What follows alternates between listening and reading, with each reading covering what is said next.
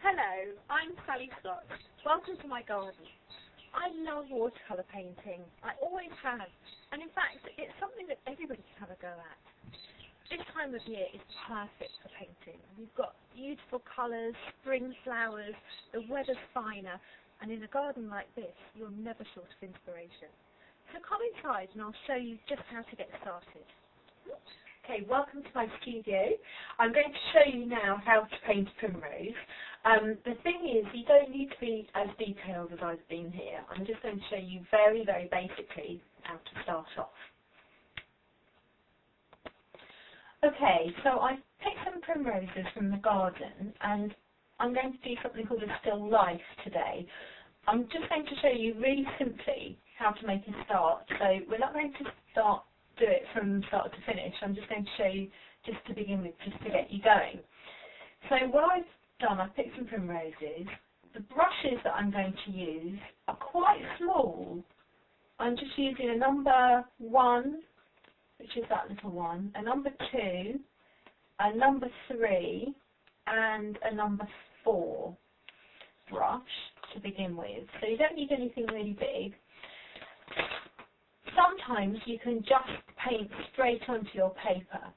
And the paper that I like to use is the proper watercolour paper with a weightage of about 200 pounds, which means it's really quite thick and it's almost like cardboard. So that's really good.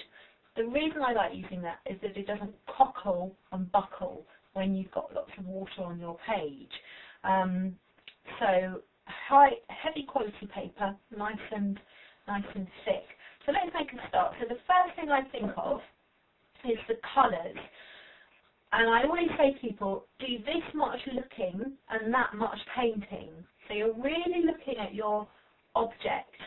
I'm looking at my primroses and I can see the yellows, a lighter yellow and a deeper yellow and the green around this little bit and a very soft brown, very, very light brown for the stem. So I've picked out my watercolour paint tubes and I use these tubes that I squeeze into a nice ceramic mixing palette, which are better than the plastic ones because they don't move about.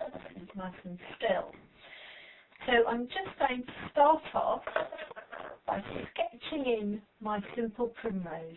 So as you can see, I've used a book underneath my watercolour pad just to give a little bit of a tilt so that the paint runs down nicely. So I'm just going to start sketching in three of these primroses.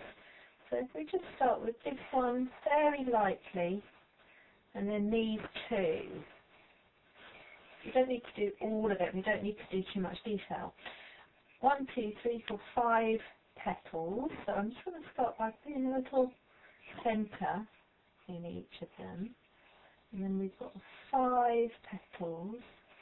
So we've got that one there, that one there, that one, that one, and that one. And by the way, this is just a, a fairly um, soft pencil, just a, an HB. And then this one is slightly closed, so just got to squeeze those petals in. And again, remember how many there are. For some reason, often you get flowers with five petals. It seems to be nature quite likes those odd numbers. So one, two, three, four, five, one, two, three, four, and then one more there. Okay, so very roughly to begin with. And just a hint of the stem there. I'm not going to worry about the stem of those two for now. So now we're just going to think about that little indentation.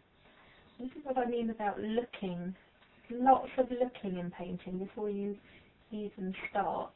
You really need to notice all these little details.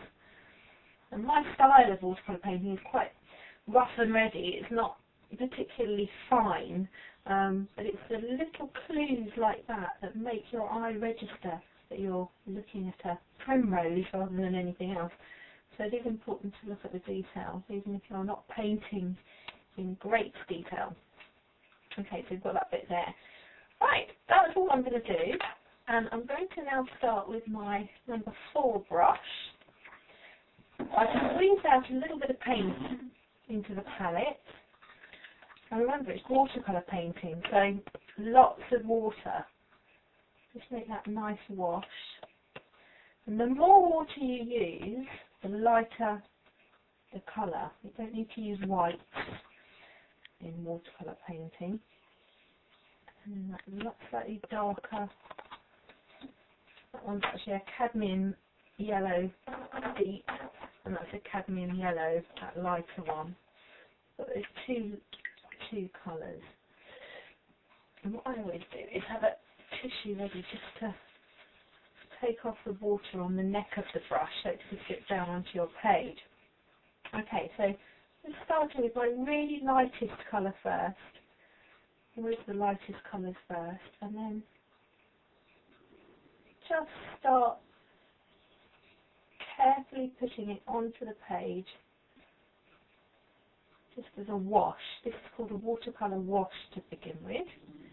And the same on these two. Not too much detail at all and on this one as well. Now I'm just going to wait for that to go off slightly, which means you just lose the shine of it being too watery, so that we can put in this darker star shape in the middle. Okay, might still be a little bit too wet, but we'll try. So I'm using a little bit more of a concentration of paint there and then I've got that one corresponding with that. There's a little bit of detail that one. It doesn't matter if it bleeds in. It's a little bit too wet at the moment. If I have more time, I'll be able to to show you. But just gives you an idea. A bit more of a concentration there, just to show you how it bleeds in, and then on this one as well. Okay. Right, it's already beginning to look like a primrose. Make it a little bit deeper. Like that. Now that centrepiece has got a slight green to it.